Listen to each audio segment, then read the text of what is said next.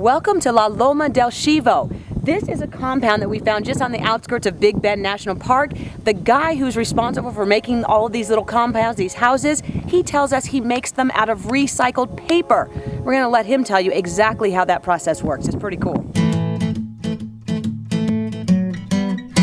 Most of these houses are built out of papercrete. Papercrete is a uh, mixture of uh, paper that's shredded up or can be shredded up with a machine. Portland cement, perlite, which is uh, helps to puff up the uh, product. It's hard enough that um, the product is very stable. So basically, you have houses made out of recycled paper. That's right.